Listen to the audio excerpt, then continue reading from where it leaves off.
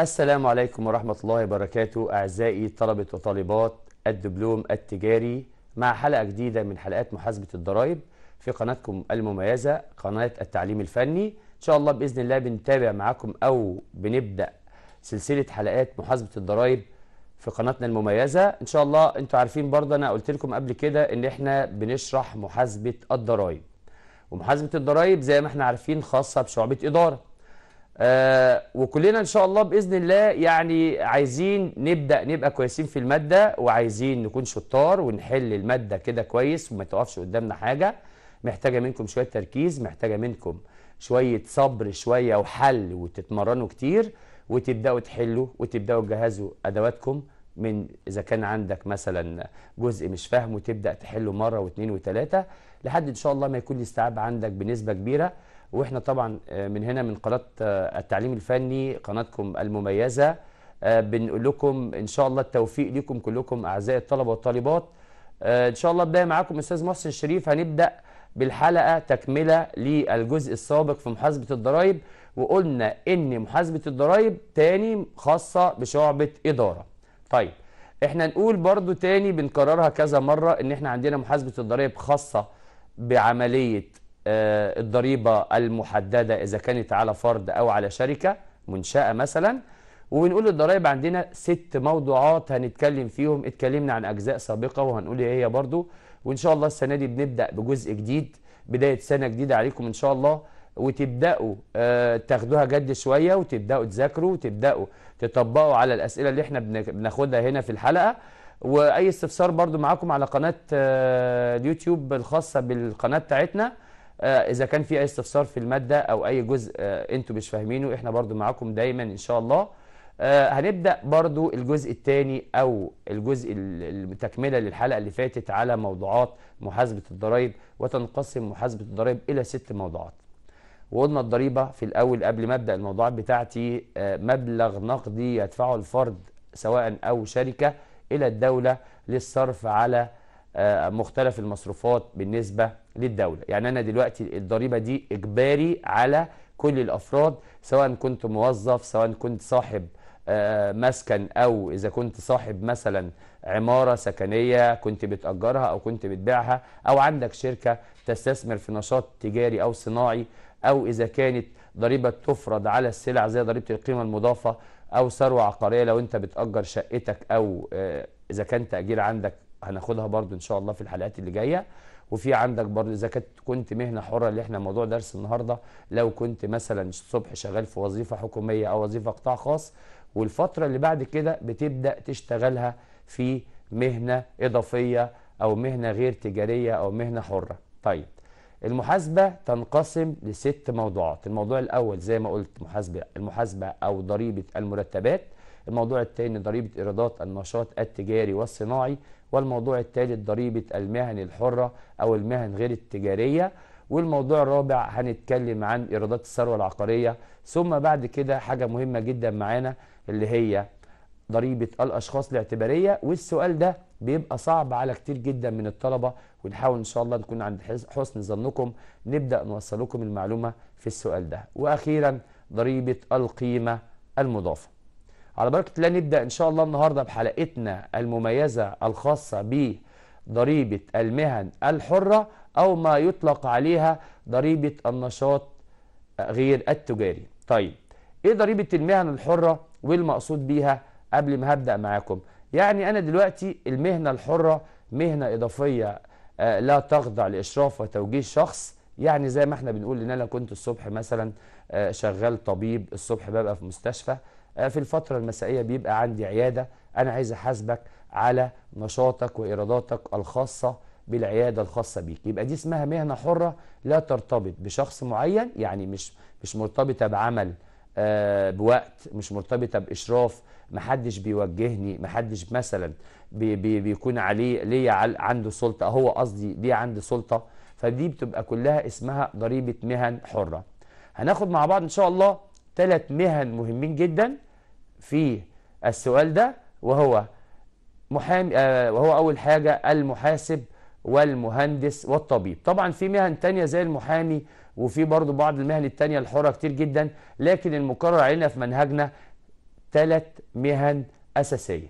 هي مهنة الطبيب والمحاسب والمهندس. طيب هنبدأ إن شاء الله النهاردة موضوعنا وهو موضوع ضريبة آه الأشخاص ضريبة الإيرادات النشاط الغير التجاري أو المهن الحرة عشان خاطر نعرف التمرين بيجي إزاي.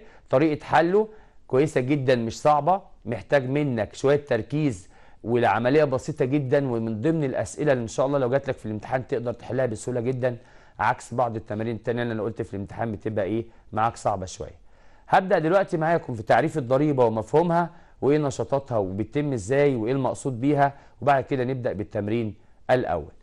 محاسبة الضرائب معانا الجزء الأول في محاسبة الضرائب خاص بالضريبة على إيرادات المهن غير التجارية المهن الحرة. ويقصد بالمهن الحرة تلك المهن التي تتعلق بخدمات يؤديها الشخص بعمله للغير وبصفة مستقلة ويحتاج مباشرتها إلى كفاءة علمية خاصة كالمحاسب والطبيب والمهندس. تاني تلك المهن التي تتعلق بخدمات يؤديها الشخص بعمله للغير وبصفة مستقلة زي ما يكون دكتور عندي والدكتور ده المفروض إن الدكتور يعتبر لو فاتح عيادة دي تعتبر بالنسبة له مهنة حرة وتعتبر مستقلة مش مرتبطة بنشاطه اللي هو بيعمل فيه في الأساس. إذا كان مهندس إذا كان شغال في شركة بعد فترة مثلا مسائية فاتح مكتب فالمكتب ده بالنسبة له بيعتبر إيه؟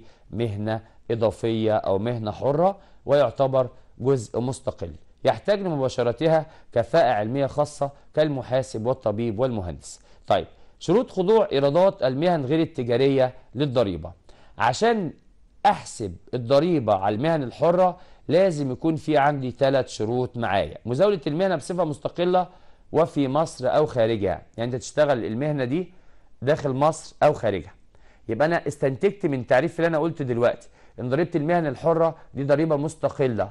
يعمل بها الفرد بصفة مستقلة. وزي ما قلت من شوية يكون عند حضرتك عيادة أو مكتب محاسبة أو إذا كان عندك مكتب هندسة المفروض إن أنت ده عمل إضافي ومستقل لا يخضع لعملك الأساسي. يعني أنا لو شغال الصبح طبيب مثلا من حضرات يعني من, من أي حد مننا مثلا إذا كان والده طبيب أو حد قريبه بيكون الصبح شغال فين؟ في مستشفى. طيب في الفترة المسائية بتلاقيه فاتح عيادة. أنا كل نشاطي دلوقتي ومنهجي اللي أنا بدرسه أحسب إزاي إيرادات ومصروفات والضريبة التي تحسب على هذا الطبيب خلال أو من خلال نشاطه في العيادة. مش خلال نشاطه في الإيه؟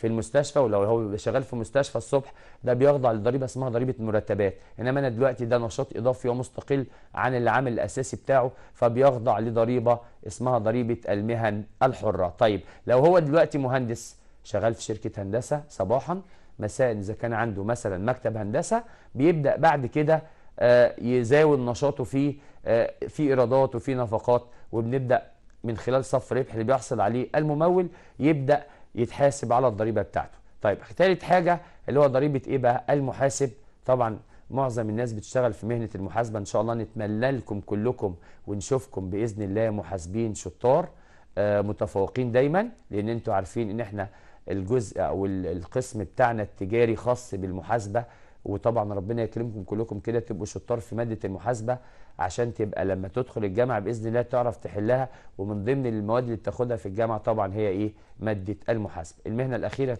مهنة المحاسب لو هو شغال في شركة محاسب الصبح بس بعد الظهر أو في المساء فاتح مكتب محاسبة فبيتحاسب على الإيراد الخاضع للنشاط الخاص به يبقى إحنا برضو استنتجنا إن هي مهنة تعتبر بالنسبة لنا مستقلة. ولازم مزاولتها تكون مستقلة وتكون موجودة داخل أو خارج مصر سواء ليك مكتب داخل جمهورية مصر العربية أو ليك مكتب في حتة تانية في أي مكان خارج البلد في أي دولة أجنبية فأنت بتخضع بكده لضريبة المهن الحرة نكمل الخصائص بتاعتنا بتقول إيه؟ اتنين قيام المهنة على عنصر العمل واحتراف المهنة أو النشاط. يبقى إحنا خدنا دلوقتي المقصود بالمهن الحرة وشروط خضوعها بعد كده نبدأ بالجزء الثاني التكاليف والمصروفات واجبة الخصم. لما أنا يكون عندي مكتب محاسبة أو طبيب عيادة أو مكتب هندسة إيه هي المصروفات أو التكاليف واجبة الخصم من هذا الممول؟ الإيجار إذا كنت بتدفع إيجار للعيادة أجور مرتبات للناس شغالة معاك مصروفات عمومية مصروفات سفر اتنين المصروفات المشتركة المشتركة مثل التليفون والسيارة ويخصم ثلثي هذه المصروفات ويعت- ويعتمد الثلث الآخر. يعني أنا لو عندي سيارة أو تليفون المفروض إن أنا بخصم منه من نشاط مصروفات المنشأة أو الجزء اللي أنا بحسب عليه الضريبة الثلثين وبخصم ثلث منهم. التبرعات والإعانات والتبرعات تنقسم لثلاث جهات. تركزوا في الموضوع ده قوي قوي قوي قوي عشان بيجي باستمرار وفي كذا درس. التبرعات تكون تبرعات للحكومة تبرعات لجمعية خيرية مشهرة تبرعات لفقراء الحي. أنا عايز برضه أوضح حاجة مهمة جدا النفقات عندنا اللي بتتخصم من الإيرادات اللي إحنا بنحسبها دلوقتي إذا كانت مهنة حرة في مصروفات إيجار مصروفات عمومية أجور ومرتبات وفي من ضمن الحاجات اللي بتتخصم التبرعات. طبعا إذا كان دكتور فاتح عيادة ممكن يتبرع بجزء من الإيراد بتاعه إلى ثلاث جهات. إيه هي الجهات اللي ممكن أتبرع لها؟ أول جهة تتبرع لها حضرتك ممكن التبرع لجهة حكومية. أو لو قال لك مستشفى بس المستشفى دي جهة حكومية. كل ما يخضع لإشراف الدولة فهو جهة حكومية. في بعض الجهات بتعتبر جمعيات خيرية مشهرة. جمعية تابعة ل- لنشاط ل- ل- لبعض الأنشطة الموجودة عندنا في الدولة. ممكن تكون جمعية الوفاء والأمل أو جمعية مثلا رعاية أيتام أو أي جمعية من دول لازم تكون الجمعية دي خيرية ومصرية ومشهرة. تكون مشهرة في الشهر العقاري خيرية بتقدم آه، خدمة للأفراد وتكون طبعا مصرية بتكون موجودة داخل مصر وليست خارجها. برضو بتجي لنا برضو بعض النقاط فيها. إن شاء الله هستفيد معاكم في الموضوع ده كويس قوي وأبدأ أفرق لكم ما بينهم. يبقى التبرعات إما الجهة حكومية إما الجمعية خيرية مشهرة. وثالثا تبرعات لفقراء الحي أو المساكين أو التبرعات آه، لمثلا للزلزال اللي هم إيه اللي اصيبوا في زلزال أو مثلا آه، تبرعات لج- لجهة سياسية مثلا حزب سياسي. كل ده يعتبر من ضمن التبرعات غير المعترف بها. خدنا المصروفات وخدنا النفقات التي آه، تخصم من الممول عند حساب الضريبة. وهنبدأ دلوقتي برضو بجزء تاني معانا في موضوع الضريبة على المهن الحرة عشان نبدأ في التمارين بتاعتنا. طيب إن شاء الله دلوقتي هنبدأ التمرين الأول بتاعنا اللي هو خاص طبعا بمهنة من مهن الثلاثة اللي إحنا قلناها فيما يلي بيانات خاصة بمكتب محاسبة. يملكه حسام الشريف عن عام 2021 الإيرادات أتعاب حضور جلسات نيابة عن عملائه أرباح بيع أجهزة كمبيوتر مستهلكة أتعاب محاسبة ومراجعة أتعاب تقديم إقرارات ضريبية نيابة عن عملائه أرباح بيع أساس مستهلك عمولة عن توسطه لأحد عملاء في بيع عمارة أرباح بيع قطعة أرض يملكها أتعاب تصميم نظم لأحد العملاء. إحنا حددنا في تمريننا إن ال- الموظف ده حسام ده يعتبر يمتلك مكتب محاسبة. حددنا دلوقتي الإيرادات جايب لي بقى 10 بنود 7 8 حسب ما يحدد. دي إيرادات مكتب المحاسبة اللي بيملكه الممول وبيبدأ على أساسها يحصل إيراد. طيب أتعاب حضور أهي. وأرباح بيع أجهزة كمبيوتر مستهلكه واتعاب محاسبة ومراجعة واتعاب تقديم اقرارات ضريبية نيابة عن عملائه.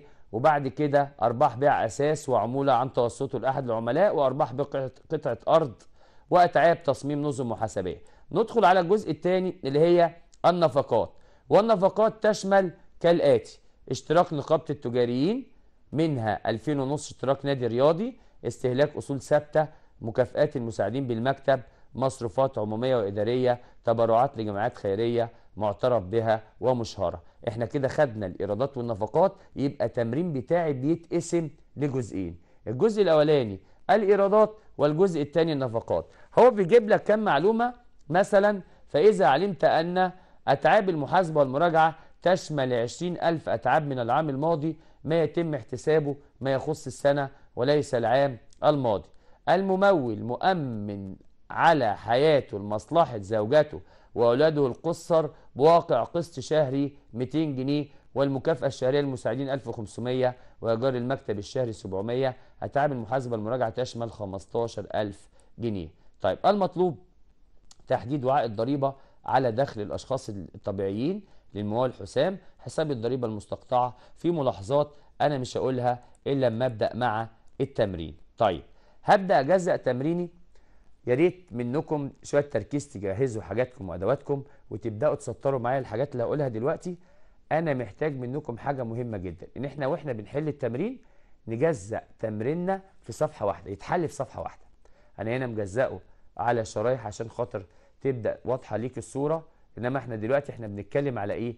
بنتكلم على الضريبة على المهن الحرة ولما تيجي تحسب الضريبة تحسبها إزاي؟ تعمل جدول من الخانات اللي هوضحها لك وتبدأ بإيرادات الممول. ركز بقى معايا شوية. أبدأ بإيرادات الممول. ثم بعد كده أنزل على حاجة مهمة جدا وهي النفقات. يبقى أنا ببدأ في الجدول أو في الجدول اللي أنا هعمله على صفحة واحدة في كتاب في الكشكول بتاعك أو في كراستك تبدأ تكتب لي البيانات بتاعتك كلها إيه؟ إيرادات ونفقات. طيب لو أنا جيت حليت التمرين يتحل إزاي؟ أنا جايب لك في التمرين بتاعك اولا الإيرادات ثانيا النفقات. قسمت لك تمريني لجزئين جزء إيرادات وجزء نفقات. طيب نبدأ الأول نشوف التمرين الجدول بيتسطر إزاي وأبدأ أكتب البيانات فيه إزاي. من خلال التمرين برضه هنبدأ نرجع له كده عشان تبص البيانات بتاعتك. أول حاجة في التمرين بتاعي طريقة الحل اولا من خلال الجدول الآتي. الضريبة المستحقة ببدأ اولا في الإيرادات الخاضعة للضريبة. إحنا عندنا الإيرادات بتاعتنا أكتر من حاجة. أنا جبت لك في التمرين بتاعنا حاجة اسمها أتعاب حضور جلسات نيابة عن عملائي هبدأ الأول بالإيرادات. يبقى أنا دلوقتي ببدأ بالإيه؟ بالإيرادات. أتعاب حضور جلسات عن عن, عن عملاء نيابة عن عملائي أتعاب حضور محاسبة ومراجعة أتعاب تقديم إقرارات ضريبية عمولة عن توسط لأحد العملاء في بيع عمارة. ثم أرباح بيع قطعة أرض يملكها أتعاب تصميم نظم محاسبيه أرباح بيع أجهزة كمبيوتر مستهلكة وأرباح بيع أساس مستهلك. إحنا ممكن نقسمها لجزئين بس الطريقة دي أسهل بالنسبة لنا.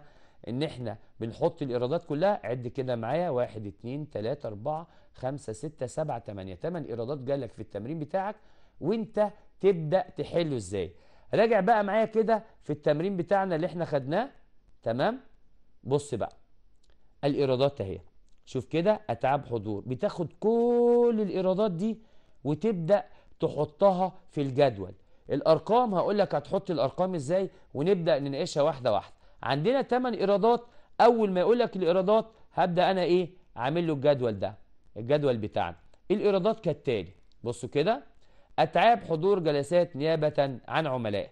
معظم أتعاب الجلسات أو أتعاب الخاصة بنشاط الإيرادات تخضع للضريبة. يعني إيه تخضع للضريبة؟ يعني تيجي حضرتك هو جايب لك في التمرين 8000 أتعاب حضور جلسات نيابة عن عملائي فحطيتها برقمها 8000 أي تخضع للإيرادات الخاضعة لنشاط الممول أو المهندس أو المحاسب اللي إحنا بنحل التمرين بتاعه.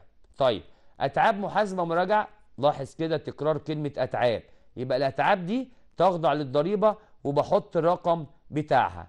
رقم ثلاثة أتعاب تقديم إقرارات ضريبية نيابة عن عملائي طلع ب 50000 لاحظ إن أنا كده عندي في الإيرادات الثلاثة أنا قلت 8 وحطيت الثمانية كلهم تحت بعض. محتاج أعرف إيه اللي يخضع للضريبة أو الإيراد الخاضع والإيراد الغير خاضع. ثلاث أتعاب الأولانيين دول حضور جلسات نيابة عن عملائي أتعاب محاسبة مراجعة أتعاب تقديم إقرارات ضريبية. حطيت أرقامها الثلاثة واداني الإيه 8000 120000 50000 ثم بعد كده لقيت في التمرين جايب لي كلمة عمولة عن توسطه لأحد عملائه في بيع عمارة وأرباح بيع قطعة أرض يملكها. أول حاجة عمولة عن توسطه لأحد عملائه في بيع عمارة الراجل ده محاسب فاتح مكتب وليس سمسارا. هو لما ياخد عمولة في حد يعني من حد من بيع عمارة أو أرباح بيع قطعة قطعة أرض يملكها. دي غير مرتبطة بنشاط المكتب. عايز أوضح الصورة دي كويس جدا وتركزوا معايا فيها. بصوا يا جماعة كل ما يتعلق بإيرادات خاضعة لنشاط مكتب المحاسبة رقم بتاعه بيخضع وبنحط رقم في قلب الجدول يعني أي أتعاب خاضعة بنشاط المكان اللي أنا عايز أحسب له ضريبة أو المهنة الحرة سواء مكتب محاسبة أو مكتب هندسي أو عيادة طبيب كل ما يخضع من أتعاب. الممول بيحصل عليها تخضع للضريبة يعني حاجة خاصة بنشاط المنشأة اللي أنا فيها أو المكان اللي أنا فيه إنما لما يجي يقول لي أتعاب أو مثلا عمولة عن توسطه في بيع عمارة أنا فاتح مكتب محاسب نفهمها بقى كده شوية عشان ما يختلطش الأمر علينا ونبدأ في الامتحان بلاقي الطلبة وإحنا بن بنصحح الإجابة كاتب لي حاجات غريبة يعني هو بيكتبها مش فاهمها يعني هو مش مش بالحفظ. أركز شوية في الضرايب أبدأ أفهم وأبدأ أركز فيها قوي أول حاجة عايز أقولها تاني عمولة عن توسطه في بيع عمارة. ده مكتب محاسبه هل ليه علاقة بإن أنا آخد عمولة أو سمسرة من إن أنا ببيع عمارة أو شقة أو أي حاجة تانية؟ ليس لها علاقة. طالما ملهاش علاقة حضرتك ده مش من إيرادات الإيه؟ المكتب المحاسبي الخاص بيك. اتنين إيراد بيع أرض يملكها. عنده حتة أرض وحتة الأرض دي سيادتك باعها. خد فلوسها. إيه علاقة قطعة الأرض بمكتب المحاسبة اللي تبعي؟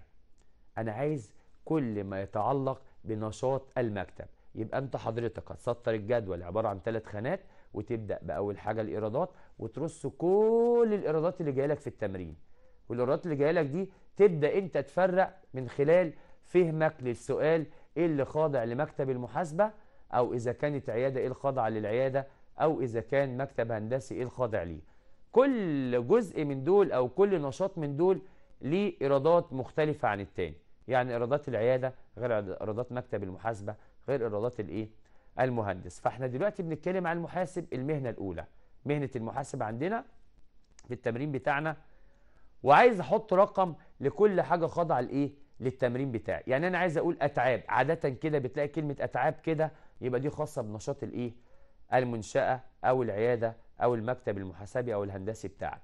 اتنين كل ما لا يتعلق بنشاط المنشأة ما بيخضعش ما بحطلوش رقم. بتيجي قدامه كده تحط شرطة. أنا قلت لك في 8 بنود أو إيرادات أنا حطيتهم في التمرين ممكن ستة يتحط لهم أرقام أو تخضع للضريبة واثنين ما يتحط لهمش زي إيه بقى؟ عمولة عن توسطه في بيع عمارة ايراد إيراد عقار يملكه مثلا أي إيراد ناتج من حاجة ملهاش علاقة بالمنشأة اللي أنا فيها يعني نظير أحاديث تلفزيونية لو هو بيدي في التلفزيون ودي برضه هوضحها إذا كانت متكررة ولا غير متكررة. ومثلا تأليف كتب جامعية ايراد عن تأليف كتب جامعية دي تعتبر كلها إيرادات غير مرتبطة بنشاط المكان اللي أنت إيه بتحاسب عليه في الضريبة. تعالوا نرجع كده مع بعض على التمرين على الإيرادات بتاعتنا عشان مش عايز أطول عليكم ونبدأ في المفهوم بتاعنا. طيب عندك أتعاب محاسبة مراجعة؟ قلنا أتعاب جلسات نيابة عن عملائه ثم إقرارات تقديم إقرارات ضريبية عموله عن توسط لاحد العملاء في بيع العمارة وأرباح بيع قطعة أرض يملكها واتعاب تصميم نظم محاسبية لأحد العملاء وأرباح بيع أجهزة كمبيوتر مستهلكة وأرباح بيع أساس مستهلك. دول طبعا من ضمن أنا ما خدتش أرباح بيع قطعة أرض بيع قطعة أرض يملكها خدت شرطة قدامها عموله عن توسط لأحد العملاء في بيع عمارة برضه شرطة قدامها لا تخضع للضريبة. أما أتعاب تصميم نظم محاسبية آه دي خاصة بالإيه؟ بنشاط المنشأة وأرباح بيع أجهزة كمبيوتر مستهلكة ب 4000 دي تعتبر من ضمن إيرادات نشاط المكتب بتاعنا أو أرباح بيع أساس مستهلك. حد يقول لي طب ده بيع أساس ده مكتب محاسبة. ممكن يكون عندي كمبيوتر أو أساس بقاله فترة ومستهلك ببيعه بحصل عليه على إيراد فيعتبر نشاط عندنا. طبعا بعد كده طلع الناتج كله 195000 لما جمعت كل الإيرادات يبقى أنا التاني هبدأ اولا الإيرادات اللي خاضعة للضريبة. ثم في نفس السطر بتاعنا أو نفس الصفحة ببدأ أنا ناقل إجمالي الإيرادات ده من آخر رقم موجود معايا في التمرين اللي هو 195000 اللي هو إيه؟ إجمالي الإيرادات. المصروفات عندي جبت خمس أو ست مصروفات. هقول بقى إيه هي المصروفات وأقول لك بعد كده تتعامل إزاي.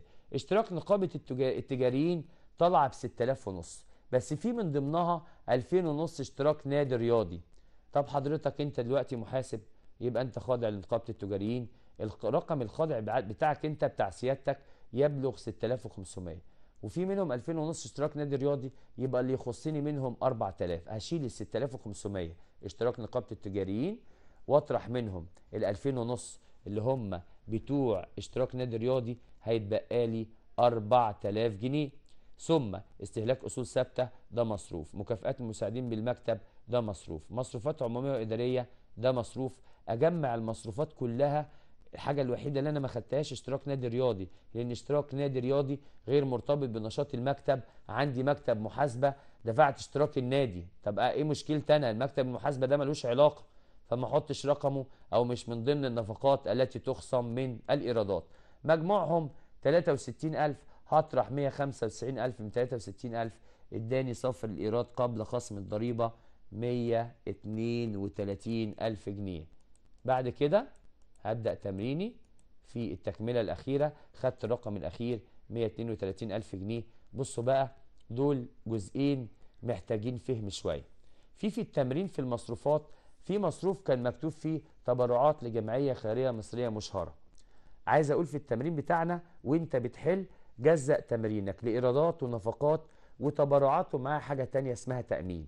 ثلاث أجزاء إيرادات ونفقات ومن ضمن النفقات بيجي تبرعات. لو التبرعات دي الجهة حكوميه مفيش مشكلة. عادي دي من ضمن النفقات. أنا اتبرعت بجزء الحكومة آه، مفيش مشكلة خالص. تبرعات لجمعية خيرية مشهرة ما بحطهاش من ضمن النفقات بس بخصمها بعد ما إيه؟ ما أجيب الصافي بتاع الإيرادات قبل خصم التبرعات. لو في تأمين على حياة الممول أنا بجيب التأمين ده وبحسبه برضو نفس التمرين اللي أنا هقوله دلوقتي فالجزء الثالث عندنا في التمرين. أول حاجة تاني إيرادات. ثم نفقات ثم التبرعات لجمعية خيرية مشهرة وبعد كده التأمين على حياة الممول لصالح زوجته وأولاده مش لصالح حد تاني. زوجته وأولاده وممكن يكون أولاده القصر صغيرين في السن. طيب لو ابنه متزوج ما ما يخضعش للضريبة فبقسم الرقم على اتنين. لو بنته متزوجة وهو مأمن عليها ما ينفعش أنا بنتي تزوجت يبقى انت بنتي برضو المفروض تكون تعتبر آه، مع فرد تاني أو مع جوزها يعتبر هو متأمن عليه فهي خاضعه عليه هو مش خاضعه علي أنا.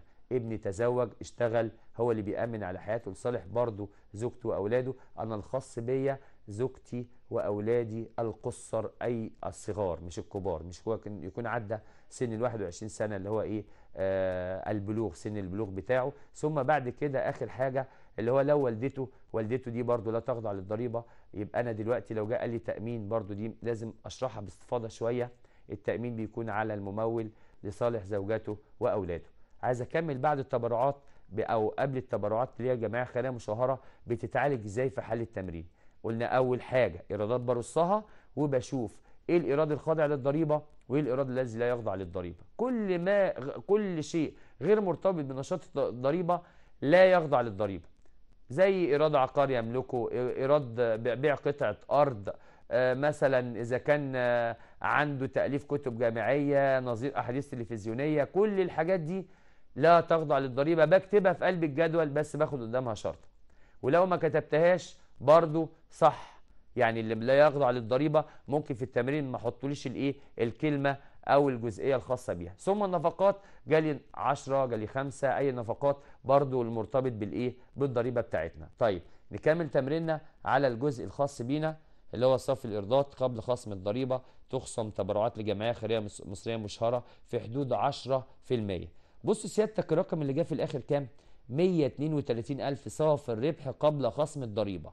بمسك ال 132000 دول أضربهم في 10% هيطلع 13200 وفي التمرين بتاعي قايل لي إيه؟ قال لي كده بالنص من ضمن الحاجات اللي موجودة في النفقات.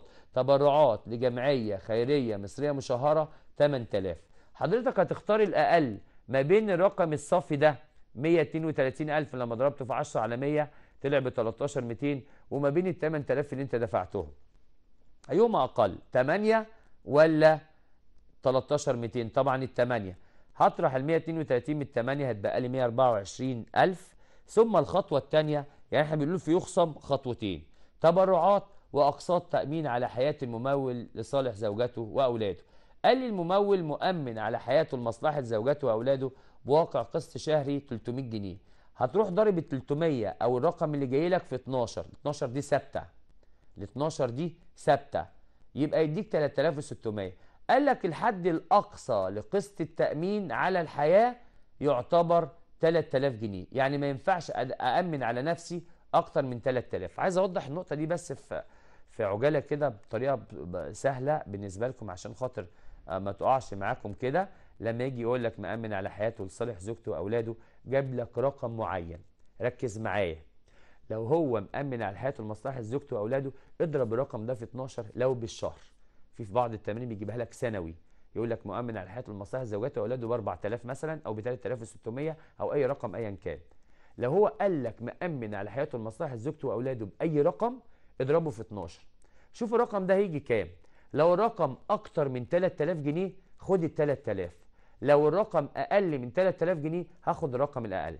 يعني مثلا لو هو مأمن على حياته لمصلحة زوجته وأولاده ب 300 جنيه في الشهر يبقى 300 في 12 ب 3600 قال لك ما ينفعش يأمن على نفسه أكتر من 3000 طب هو مأمن على نفسه ب 3600 يبقى اللي يخصم 3000 جنيه بس. طب لو هو مأمن على نفسه ب 200 جنيه في الشهر 200 في 12 ب 2400 وهو الحد الأقصى للتأمين 3000 طبعا 2400 أقل يبقى اللي هيخصم 2400 يبقى إحنا بنختار الأقل ما بين المحسوب اللي أنا حسبته بعد ما ضربته في 12 وما بين الحد الأقصى اللي هو رقم ثابت معايا 3000 جنيه. 3000 رقم ثابت.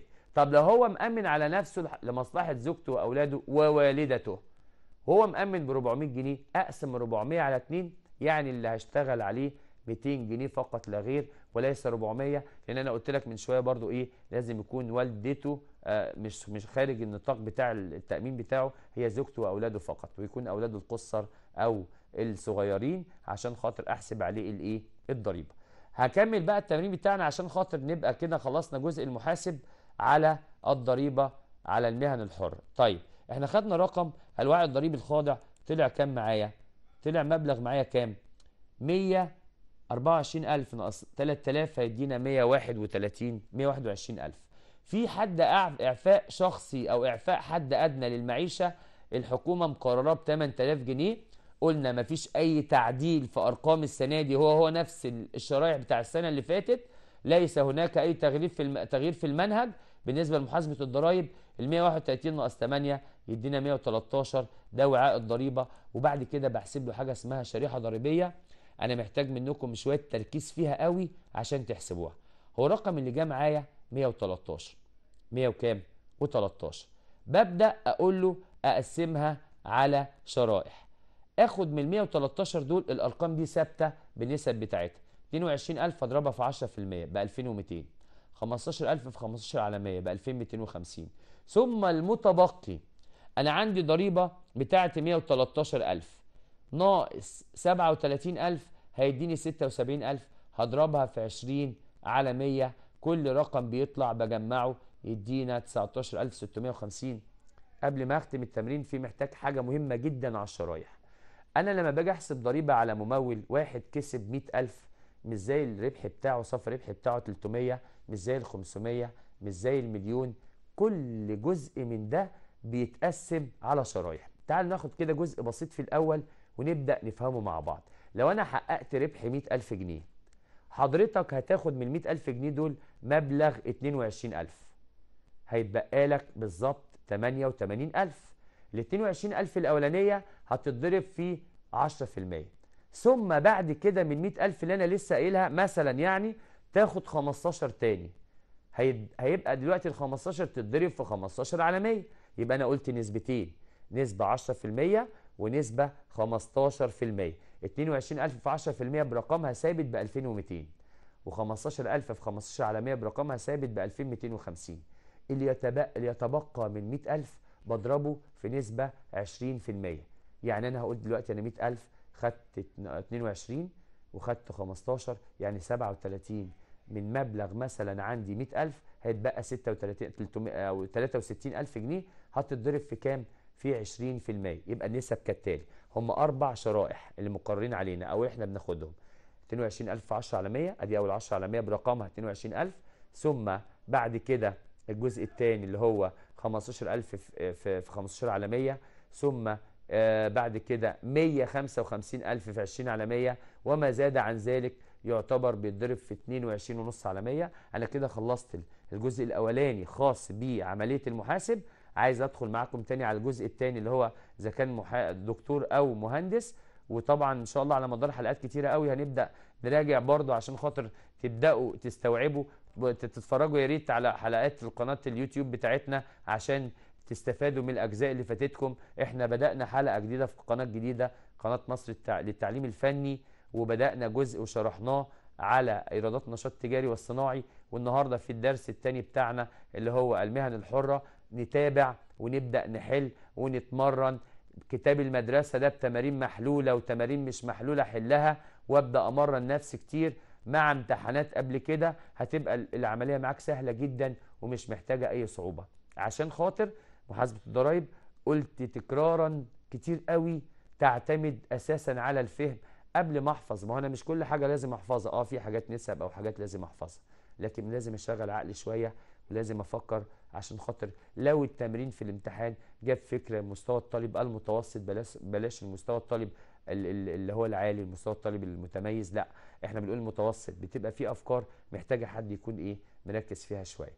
هبدأ في التمرين الثاني على المحاسب. الجزء الثاني خلصنا المحاسب دلوقتي وهناخد الدكتور أحمد فوزي لديه عيادة خاصة قدم البيانات التالية خاصه بإيراداته ومصروفاته. أنا حددت دلوقتي دكتور يبقى الأولاني كان محاسب دلوقتي ده دكتور. الإيرادات تشمل أتعاب كشف بالعيادة أتعاب عملية. خلاص بقى عرفنا الدنيا بتمشي إزاي وبحل التمرين إزاي والخطوات بتاعة الحل بتاعتي بتمشي إزاي. أتعاب كشف بالعيادة أتعاب عملية جراحية بالخارج سواء بالخارج أو بالداخل مفيش أي مشكلة. أتعاب كشف بالمنازل أتعاب عملية جراحية داخل البلاد نظير أحاديث تلفزيونية أرباح بيع أجهزة ومعدات مستعملة أرباح مكافآت من أبحاث علمية في مؤتمرات علمية وإيرادات عقار. أنا حبيت بس برضو قبل ما ابدا التمرين عايز إيه الجزء اللي فات عندكم محتاج أقول فيه حاجة برضو مهمة جدا بالنسبة لتمرين التبرعات ده اللي إحنا خدناه. قال لك آه، آه، في ملاحظات على التمرين اللي فات بتاع إيه اللي هو إحنا خدناه بتاع المحاسب. عايز برضو معايا كده شوية تركزوا في الملاحظات اللي أنا هقولها دلوقتي عشان تبدأ تحلها وتبدأ تعرف الملاحظات الملاحظات دي جت إزاي وابدأ احل التمرين بتاعي إزاي. طيب أول حاجة لو قال لي عمولة عن توسطه البيع عمارة لا توضع ضمن الايرادات الخاضعه للضريبة لأنها ايرادات غير متعلقة بالمهنة. عمولة عن آه، توسطه البيع عمارة مش مرتبطة بالمهنة. عشان كده ما حطيتش رقمها. واثنين أرباح بيع منزل يملكه برضه لا تخضع للضريبة. وإذا كان حاجة جايبها لي بالتمرين مكافأة المساعدين يعتبر يخضع للأساس النقدي ولا يؤثر عليها المحسوب. إيجار العيادة يخضع للأساس النقدي. يعني يا جماعة لو جالك في التمرين بين قوسين كده شهري يهمل ماليش دعوة بيه. أنا بيهمني قوي الجزء الجديد بتاع اللي هو حل الإيه؟ التمرين بتاعنا وإزاي الخطوات بتتحل إيه اللي يتضاف وإيه اللي ما يتضافش والجزء بتاعنا إيه هو. تعالوا بقى كده ناخد إيه؟ الجزء الثاني بتاع التمرين الثاني بتاعنا خاص بعمليه الدكتور. قلت الدكتور أحمد فوزي يمتلك عيادة خاصة قدم البيانات الآتية بايراداته ومصروفاته عن عام 2021 وكانت كالتالي الإيرادات أتعاب قلتها من شوية أتعاب عملية جراحية اتعاب كشف بالمنازل اتعاب عملية جراحية داخل البلاد نظير أحاديث تلفزيونية أرباح بيع أجهزة ومعدات مستعملة مكافأة عن ابحاث علمية في مؤتمرات طبية وإيراد عقار دي الايرادات ونيجي على المصروفات. إيجار العيادة الإيجار الشهري كتب ومجلات علمية مصروفات عمومية وإدارية اشتراك نقابة الأطباء. جايبين مصروفات كتير أهو معاكم مرتبات المساعدين وجاب لي الشهري بين قوسين 500 أنا باخد الاستحقاق النقدي وليس الشهري. استهلاك أدوات طبية ضريبه جمركيه على أمتعة خاصة. استهلاك ومصاريف السيارة تبرعات جايب 2000 للحزب الوطني والباقي الجمعيه الخيرية مشهرة. من ضمن الإيرادات أتعاب العملية الجراحية التي أجراها بالداخل 2000 جنيه عملية جراحية سيجريها العام القادم الممول مؤمن على حياته لمصلحة زوجته ووالدته ووالدته بواقع قسط شهر 400 جنيه. خلي بالك والدته دي في التمرين يبقى محتاجة تمهيد شوية تحديد وعاء الضريبة قلنا إذا كانت الأتعاب بتاعتنا جراحية بالداخل أو بالخارج تخضع للضريبة ونظير أحاديث تلفزيونية هشرحها وأنا بحل التمرين إحنا دلوقتي خدنا خلاص التمرين قلنا عشان نحل تمرين الضريبة بتاعتنا قلت خطوات لازم أعرفها. هقسم تمريني لثلاث أجزاء. اولا الإيرادات وهبدأ أسطر جدول من ثلاث خانات الخانة الأولى للبيان والجزئي ثم الكلي. طب بعد كده إيه اللي بيتم؟ اللي بيتم ببدا بالأول بالإيرادات ثم النفقات وبعد كده يخصم حاجتين اتنين معاه اللي هم تبرعات لجمعية خيرية مصرية مشهرة وثانيا آه، تأمين على حياة الممول لصالح زوجته ووالدته ودول آه، يعني ممكن يجي في التمرين ما يجوش في التمرين ما فيش مشكلة مش عايز تكتبهم برده ما فيش مشكلة. لو اتعودت إن أنت باستمرار تكتبهم في التمرين هتتعود إن هم خلاص عرفتهم إن هم إيه موجودين معايا في التمرين. إحنا دلوقتي بنتكلم على الطبيب آه والطبيب معانا عنده عيادة والعيادة دي ليها إيرادات. هبدأ أول حاجة معاكم بالإيرادات وبعد كده هندخل على جزء جديد جدا اللي هو طبعا آه خاص بالنفقات وإزاي تعمل التبرعات حاجات بأفكار جديدة ما خدناهاش في التمرين اللي فات. هنكون إن شاء الله معاكم بتنوع في الأفكار عشان خاطر ما فيش حاجة تقف قدامك وتبقى العملية معاك بإذن الله إن شاء الله تكون سهلة وتبدأ تحل التمرين. هبدأ الأول الأول تاني على الإيرادات الخاضعه للضريبة بالنسبة للطبيب. أول حاجة الايرادات الخاضعه جات لي في التمرين كالتالي. واحد أتعاب كشف بالعيادة. اثنين أتعاب عملية جراحية بالخارج. ثلاثة أتعاب كشف بالمنازل. أربعة أتعاب عملية جراحية داخل البلاد. خمسة نظير أحاديث تلفزيونية. ستة مكافأة عن أبحاث علمية في مؤتمرات طبية. إيراد عقار. سبعة أرباح بيع أجهزة ومعدات مستعملة. عايز حضرتك بقى أنت خلاص فهمت الدنيا. إحنا بنتكلم دلوقتي على مين؟ بنتكلم على الدكتور. وقلت من شوية في التمرين اللي فات كل ما يتعلق بالأتعاب الأتعاب دي خاصة بإيه؟ خاصة بنشاط المنشأة. يعني أتعاب كشف بالعيادة الدكتور مش بيجي له كشف بالعيادة ده إيراده يخضع للضريبة. أتعاب عملية جراحية بالخارج تخضع للضريبة. أتعاب كشف بالمنزل برضو المنزل يعتبر إيه؟ أو بالمنازل تعتبر كشف إيه؟ خاضع للضريبة. أتعاب عملية جراحية داخل البلاد طبعا الرقم بتاعنا حطيت الرقم بتاعنا اللي هو أتعاب عملية جراحية داخل البلاد بيبقى إحنا ملاحظين كده إن كل الأتعاب إيه تخضع للضريبة وبتحط رقمها. طب تعالوا بقى على الجزء المهم جدا نظير أحاديث تلفزيونية ده غير مرتبط بنشاط ال- العيادة.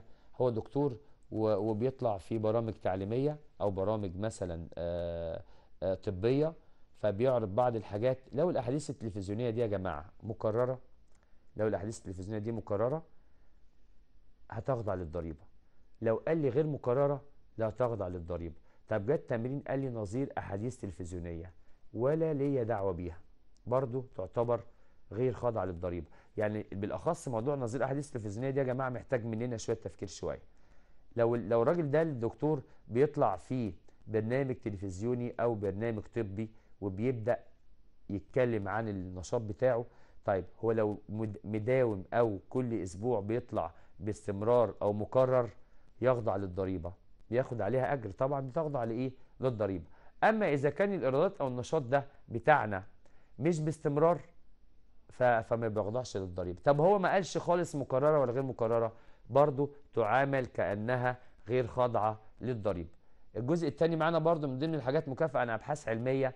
لو هو في بحث علمي وعمل كتب جامعية وباعها ملهاش علاقة بالعيادة. خد مكافأة في مؤتمر بحث علمي هو عمله معانا أو عمله بره العيادة لا يخضع للضريبة. برضو نفس الكلام. وتالت حاجة إيراد عقار يملكه عنده عقار والعقار ده بيملكه بيبدأ يحصل منه يح- يحصل إيراد من الأفراد فيعتبر بالنسبة لنا إيه؟ غير خاضع للضريبة. إحنا كده قلنا ثلاث حاجات نظير أحاديث تلفزيونية وبعد كده تمام. الجزء الثاني أتعاب عملية جراحية بالخارج أتعاب كشف بالمنازل أتعاب عملية جراحية داخل البلاد بص بقى نظير أحاديث تلفزيونية مكافآت عن أبحاث إيراد إيه؟ إيراد عقار آه عقار غير مرتبط بالنشاط أرباح بيع أجهزة ومعدات. ثم بعد كده هدخل على إيه؟ على النفقات. النفقات عندي كالتالي إيجار العيادة 6000 جنيه كتب ومجلات علمية الدكتور بيستعمل بعض الكتب والمجلات العلمية بيشتريها عشان نشاطه فدي من ضمن المصروفات أو النفقات بتاعتنا مصروفات عمومية وإدارية قلنا دي من ضمن النشاط. اشتراك نقابه الاطباء مفيش مشكلة عادي. طب من ضمن الايه؟ النشاطات بتاعتك. مرتبات مساعدين قال لي في الشهر 500 ولو جيت حسبت 500 في 12 هتطلع ب 6000 بس هو دافع أربعة فليا بالمبدأ النقدي وليس الاستحقاق. اللي هو حصله يعني لما أو هو دفع مرتبات كام؟ 4000 طب هو المفروض يدفع 6 ماليش دعوة بالستة اللي ليا دعوة بالإيه؟ باللي اتدفع معانا. استهلاك أدوات طبية حطيت رقمها. أما ضريبة جمركية على أمتعة خاصة أي حاجة خاصة بيه ملناش دعوة بيها. ركزوا على الجزء ده قوي قوي قوي بتاع استهلاك ومصاريف السيارة. ليها كذا فكرة. استهلاك ومصاريف السيارة تعتبر من ضمن المصروفات الخاضعة للضريبة لكن يخضع ثلثي المصروفات. التلتين. مش كلهم التلتين اللي بيخضعوا. يعني ثلثي مصاريف السيارة لو هو 3600 بتضربها في نسبة ثابتة في 2 على 3 تبرعات الحزب الوطني والحزب الوطني ده يعتبر آه، حزب سياسي وليس جهة حكومية فبنعمل إيه؟ بنيجي قدامها لا تخضع للضريبة وبنكتب شرطة. طب لو هو قال لي تبرع لمين؟ لمستشفى القصر العيني أو للحكومة؟ يعتبر رقم معانا بيخضع للضريبة وبنحط الرقم بتاعنا. يبقى إحنا دلوقتي برضو عايز أقول حاجتين مهمين جدا. ضريبة على أمتعة خاصة لا تخضع حاجة عندي خاصة. دفعت جمرك في حاجة جاية من بره لا تخضع للضريبة. الجزء الثاني المهم جدا جدا جدا اللي أنتوا تركزوا عليه قوي بتاع استهلاك أو مصروفات السيارة. استهلاك أو مصروفات السيارة ده يعتبر بالنسبة لي باخد التلتين. أنا بستخدم السيارة في أعمال المنشأة وأعمال الشركة بتاعتي. فيعتبر بالنسبة لنا إيه؟ دي نفقات مهمة جدا. جمعت النفقات كلها هنشوفها كام دلوقتي مع بعض. طلعت ب 30800 طرحتهم من ال 157000 اللي هو اجمالي الإيرادات هيطلع ب 126300 أو 200 وبعد كده أبدأ بصافي الإيراد قبل خصم الضريبة. نفس الكلام. تبرعات لجمعية خيرية مصرية مش مشهرة 10% الرقم اللي طلع ده 126200 بضربه في 10 على 100 ودي نسبة ثابتة. هيطلع لي 12620 وهو دافع تبرعات لجمعية خيرية مشهرة. التبرعات كلها كانت خمسة. اتبرعت منهم للحكومة بكام؟ اتبرعت منهم للحكومة ب 2000 يبقى المفروض أنا معايا ثلاثة يبقى اللي هيتحط طبعا لأقل ثلاثة هيتبقى 123200 في راجل مأمن على حياته لمصلحة زوجته وأولاده طبعا ووالدته. هو جاي في الرقم 400 أنا أشوف حسبتها كام؟ 200 عشان والدته مؤمن عليها وأنا باخد نص المبلغ. ما باخدش بقى 400 كلهم بل بالعكس باخد ال 200 200 في 12 هيطلع لي النصف طبعا 2400 أو ال 3000 أيهما أقل طبعا الإيه؟ ال 2400 هيتبقى لي صافي الربح الخاضع للضريبه 120800 بطرح منه إعفاء حد الأدنى المقرر يعتبر بالنسبة لنا كام؟ آه 8000 هيتبقى 112 و800 وزي ما عودتكم أنا برضو تاني في إيه؟ في التمرين أبدأ أحسب الضريبة إزاي على نظام شرايح. أول حاجة 22000 في 10 على 100 ب 2200 ثم 15000 في 15 على 100 ب 2250 ثم بعد كده المبلغ اللي معايا اللي هو 112 800 ناقص 37000 يدينا 57 75800 في 20 على 100 وإجمالي الضريبة. وإحنا برضو طلبه طالبات الدبلوم التجاري شعبه إدارة. آه بنتمنى يا رب نكون وفقنا في شرح الجزء الخاص بمهنتين. إن شاء الله برضو المهنة الثالثه هناخدها في حلقات جاية. إحنا دلوقتي شرحناها كده واحدة واحدة معاكم وتحاولوا تبدأوا تراجعوا التمارين اللي أنا شرحتها. طبعا أنا حل من تمارين كتاب المدرسة أو من امتحانات عشان خاطر تعرف التمرين بيجي إزاي وتبدأ تتابعونا بإذن الله. اللي ما اللي ما شافش الحلقة معانا على قناة مصر التعليم الفني إن شاء الله يتابعها على قناة اليوتيوب الخاصة بالإيه؟ بالقناة بتاعتنا ويبدأ يذاكر ويركز شوية. ويا رب إن شاء الله نتمنى منكم كلكم التوفيق ونتمنى إن شاء الله لكم أحسن الدرجات. وإن شاء الله بإذن الله تكونوا موفقين دايما. كان معكم أستاذ محسن الشريف معلم وزارة التربية والتعليم لمادة محاسبة الضرائب شعبه شعبة إدارة. والسلام عليكم ورحمة الله وبركاته.